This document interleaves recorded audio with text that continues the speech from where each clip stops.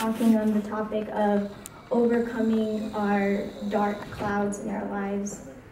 And, um, you know, we look through the Bible, we see lots of great names and personalities in the scripture, and you quickly see that each and every one of them went through depressing times in their lives, discouraging times in their lives when they honestly didn't know the future and they didn't know where to turn to or what to do. And the first person that usually pops up in lots of people's minds is Job. And this man took the most L's in this Bible, and yet after all of that, he was still blameless and upright, and he still looked to God. And in Job 7, verses 6 and 7, it says, My days come to an end without hope. My eye will never see anything good. Then we look at Moses, and he's described as the meekest man in Numbers, and he rises as one of the greatest examples in the Old Testament of an ordinary man who submitted to God, and he became one of the greatest in the Old Testament. He was faced with the task of leading the Israelites, and he had to be the administrator for God to for his law. And all of this brought on him to have hate from the Israelites. And after all of that, he felt like a crushing weight on him from all of this. And so it says in Deuteronomy 1, verse 12, Moses cries out to God, How can I bear the troubles, burdens, and disputes of these people by myself? Then we look at Elijah, and he was one of the greatest prophets in the Old Testament, but he asked to have his life taken. Then we look at David, and he tried to hide his sin, and he made journal entries that spoke of his loss of strength and the ebbing away of everything in his life and groaning all day. Then we look at Jonah, and he was the firstborn missionary, and he had so much anger toward God because he didn't, you know, destroy Nineveh. Then we look at Jeremiah, and this man, he was so sad that he became known as one of the weeping prophets.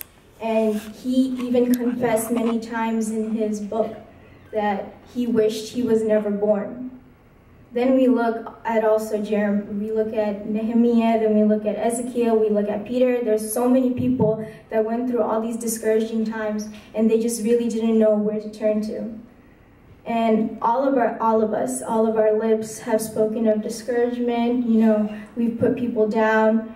We also have faced hard times in our lives. We went through grief of loss and, you know, our hearts have been broken through stress.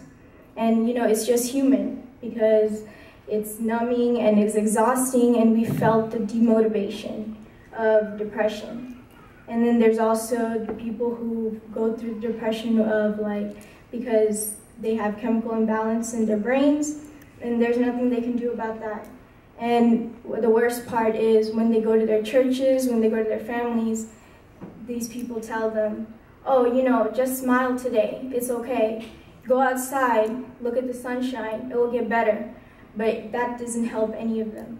So today I'm going to be focusing on Psalm 77, and we're going to be looking at some ways that we can, you know, get better and possibly feel better about the depressing times in our lives. So, we're going to read from Psalm 77, verses 1 to 3. It says, I cried out to God for help. I cried out to God to hear me. When I was in distress, I sought the Lord. At night, I stretched out untiring hands, and my soul refused to be comforted. I remembered you, O God, and I groaned. I mused, and my spirit grew faint. Now, immediately from the start, we see that the psalmist Asaph, he's hopeless. He doesn't have anything to turn to when we see him painting a picture of desperation. And in verse 2, he's talking about trouble. and he's feeling confined. He's feeling like all the walls are closing in around him, that, you know, he's in a tunnel and there's no light ahead of him, that there's no place where he can see that he's going the right way. And then he says his soul is refusing to be comforted because he knows what, he's, what is happening to him and he's trying to shake it off, but it's not working. Then in verse 3, it says, he's meditating, he's pondering on all the things that's happening to him, his situation, and he's trying to figure out a way to get out, to look through his problems and figure out a better way. And then he says his spirit becomes weak. His emotions begin to take over his logic, and he becomes a drowning man that's trying to be saved. And I'm sure many of us can relate to how he's feeling right now. But even through his battle, through his depression and his instability and his not feeling like anything is working, what's the first response that he does? He goes to God. He's cry, he cries out to him and tells him, I can't do this. I feel like this. And he's trying to cope. And he's honest with God. Then we look at verses 7 through 9. Will the Lord reject forever? Will he never show his favor again? Has his unfailing love vanished forever? Has his promise failed for all time? Has God forgotten to be merciful? Has his in his anger withheld his compassion? And what do you see here? You see rejection, you see his loss of favor, you see his lack of love, you see lack of promises, you see lack of mercy, and you see anger, and all these negative emotions. And the psalmist is just like, you know, crying out to God and telling him all his doubts, his questions as to why he's feeling like this. And honestly, that's what God wants. Even when we're doubting him, he wants us to tell him that we're doubting him because, you know, we, we shouldn't just be going to him when we're feeling 100%. We got to go to him when we're feeling like zero, when we're feeling 1%, when we're feeling negative zero, you know? And in verses 4 to 6, it says, You kept my eyes from closing. I was too troubled to speak. I thought about the former days, the years of long ago. I remembered my song in the night, and my heart mused, and my spirit inquired. And it's during one of these sleepless nights that this psalmist, he was thinking that maybe God is keeping me awake for a reason.